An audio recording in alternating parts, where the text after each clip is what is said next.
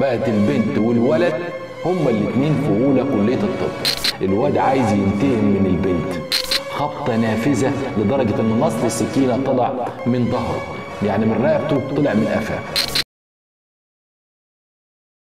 أهلا بكم. أهلا بكل مشاهدي قناة سعمة حنفي. تعالوا نشوف لما بندخل ولادنا في مشاكلنا إيه اللي بيحصل. ده فايدة برنامج ساعة مع حنفي. ان إحنا قبل ما نقدم الجريمة ونشرحها ونوضح كل ملابساتها لازم نستفيد من الدروس وما نقعش في نفس الأخطاء.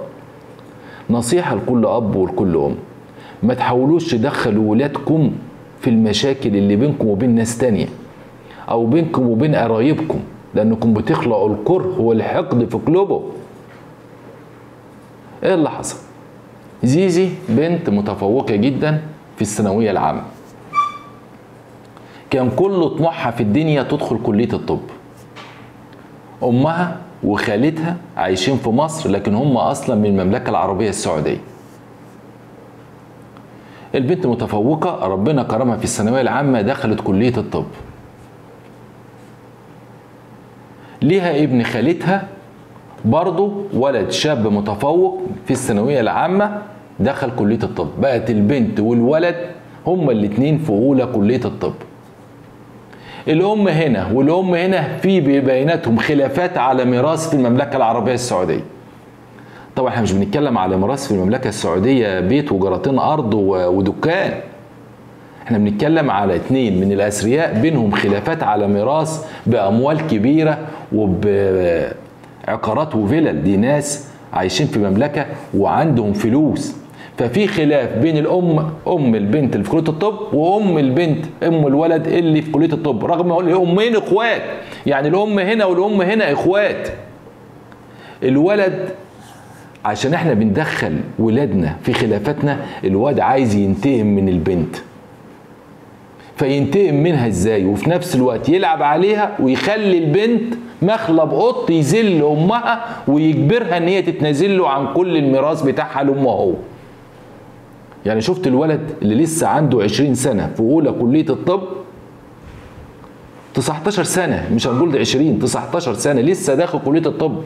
لكن من جواه غل وحقد على خالته ومش عايز خالته تاخد ميراثها فعايز يكوش على كل حاجة. فيعمل إيه؟ قال لك أضحك على البنت وأوهمها بالحب واوقعها وبعد كده اذل أمها وأخليها تتنازل لأمي عن كل ميراثها شفتوا بقى لما دخلنا أولادنا في مشاكلنا؟ شوفوا الأولاد تفكيرهم الشيطاني وصلهم لإيه؟ الولد فعلا في كلية الطب قعد يتقرب من بنت خالته رغم إن في الأم هنا والأم هنا في خلافات ومشاكل على الميراث. والبنت ما بيتكلمش الولد لكن الولد بعبقرية وصلت دماغه الفكرة شيطانية. اضحك على البنت واقول لها أنا ماليش دعوة بالخلافات اللي بين أمي وأمك. إحنا مالناش دعوة بالمشاكل دي. إحنا جيل طالع إحنا الجيل الصاعد. إحنا مالناش دعوة بالأمهات. إحنا نخلينا أصدقاء وأنت بنت خالتي وأنا ابن خالتك ونبقى أصدقاء. ورسم خطته والبنت صدقته. وشوية بشوية رسم عليها الحب. وشوية بشوية أقنعها إن هي كل حياته وإنه ما يقدرش يعيش من غيرها رغم إن البنت عندها 18 سنة أو 19 سنة بالكتير وهو 19 سنة. البنت صدقته والولد عشان يكمل حيلته فضل يستدرج في البنت لغاية ما قدر إن هو يمارس معاها علاقة جنسية كاملة. وبعد البنت ما خسرت أعز ما تملك ابتدى بقى إيه؟ خلاص ملك البنت. وراح معرف أمها ومش هتجوز بنتك وأصلح غلطتي غير لما بتتنازلي عن كل ميراثك لأمي. شفت الفكرة؟ شفت إزاي قدر يضحك على البنت ويستغلها لغاية ما يفقدها اعز ما تملك وبعد كده يذل أمها ويبتز أمها علشان يخليها ما تاخدش ميراثها وتسيبه الام هو. البنت عملت إيه بقى؟ عايزين تعرفوا البنت عملت إيه؟ تعالوا بينا ادعوكم للاشتراك في قناة ساعه مع حنفي تفعيل الجرس ليصلكم الاشعار وقت ذات الحلقة. البنت أول ما عرفت كده ولقت إنه ابتدى يتهرب منها وابتدى يبتز أمها البنت حست إن هي ضيعت كل حاجة. وإن الشاب ده ضيعها ضيع مستقبلها ضيع طموحها ضيع عذريتها ضيع أمها وضيع ورث أمها. وإنها خسرت كل حاجة بسبب عيل عنده 20 سنة ضحك عليها. البنت استغلت إن في زميل ليها في كلية الطب برضه اولى كلية الطب كان عامل خلافات مع الشاب ده وليهم مع بعضهم معاملات مالية والشاب ابن خالتها كان بيستلف منه فلوس أقنعته إن هم يستدرجوه ويحاولوا يمضوه على اصرات أمانة ويخلوه يلتزم بيها وإلا يسجنوه. بالفعل البنت اتصلت بابن خالتها وقعدت تبكي له أنت وحشني أنا عايزاك حقك عليا رغم إن هو اللي مجرم. لكن هي عملت كده علشان الواد يقول لك إيه؟ ده البنت عايزاني عشان أمارس معاها بالفعل حددت له الميعاد استنته بالعربية ركب معاها في العربية لقى صاحبه ودخل بسرعة أنتوا عايزين إيه؟ البنت قالت له أنت تعمل فيا كده. ده أنت ابن خالتي يعني عرضي وشرفي. أنت تعمل فيا كده. بعد ما سلمتك نفسي بعد ما حبيتك بعد ما وثقت فيك تخليني أداة عشان تبتز أمي عشان الميراث. قال لها والله أنا ما ضربتكيش على إيدك أنت اللي جيت غلط عندي البنت حست إن هو مش ندمان على اللي عمله وكمان بيتنمر عليها بالكلام. فمرة واحدة كانت مجهزة سكينة في عربيتها مرة واحدة بدون تردد خبط السكينة في رقبته خبطة نافذة لدرجة إن نصل السكينة طلع من ظهره يعني من رقبته طلع من قفاه.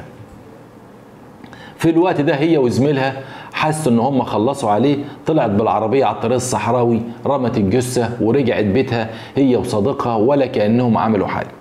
في الوقت ده اللي طبعا أم الشاب ده بتدور على ابنها مش لاقياه هي عارفة اللي عمله ابنها وخايفة إن يكون فعلا حد عمل له حاجة طبعا الشرطة اتصلت بالشرطة. طبعا دول معاهم الجنسية العربية فساعدتهم أكتر ب من خلال السفير وتدخل في عند وزارة الداخلية. بالفعل في خلال أيام عثر على الجثه ملقاه في الطريق الصحراوي بسؤال أمه اتعرفت على ده ابنها من خلال التحريات عرفوا إن الشاب تربطه علاقة عاطفية مع بنت خالته وإن هو عمل معاها الرذيله وإن استغل البنت علشان تكون مخلب قط عند أمها وتجبر أمها إن هي تتنازل عن كل ميراثها لأختها. طبعا تم القبض على طالبة كلية الطب اعترفت وانهارت وقالت أيوه ضحك عليا وبعد ما مارس معايا وبعد ما أفقدني اعز ما أملك فوجئت إنه بيتهرب مني وبعد كده ابتدى يبتز أمي علشان تسيب ميراثها وتتنازل عن كل ميراثها في السعودية. حاولت إن أنا أخليه يعترف بغلطه وإن هو يجي يتجوزني لكن فوجئت إن هو بيتنمر عليا وبيقول لي أنا ما ضربتكيش على إيدي على إيدك. فاضطريت إن أنا في لحظة انفعال أخبطه بالسكينة كانت موجودة بالصدفه في العربية فدخل في رقبته وما عرفناش نعمل حاجة أنا وزميلي فرمناه على الطريق الصحراوي. اعترافات تفصيلية. أدي اللي إحنا بنقول عليه يا جماعة ما ندخلش عيالنا أو ولادنا في مشاكلنا إحنا حتى القرايب مع بعضينا. عشان ما نخلقش الكره اهي الأم خسرت ابنها والأم الثانية خسرت بنتها. طب إيه اللي استفدناه؟ الميراث دلوقتي هيروح لمين؟ إذا كان أعز ما نملك الاتنين راحوا. واحد مات وهو لسه في عمر الظهور. وبنتنا اتسجنت ومحدش يعرف حكمها هيكون إيه لأن ده قتل مع سبق الإصرار والترصد. استدرجته هي وزميلها ومعاها سكينة وقتلوه. يعني ممكن تاخد إعدام. يبقى أولادنا خسرناهم. يا ترى الميراث هيعوض ولادنا هنقول إيه؟ لله الأمر من قبل ومن بعد. أشكركم.